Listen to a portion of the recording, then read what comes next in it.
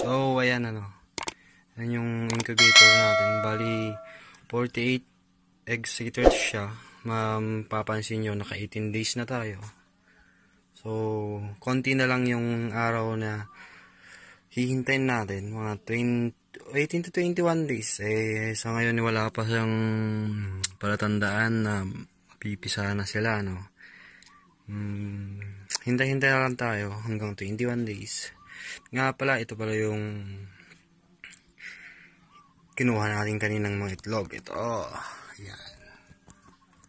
Bali, ano na siya, 19 na siya. Yan.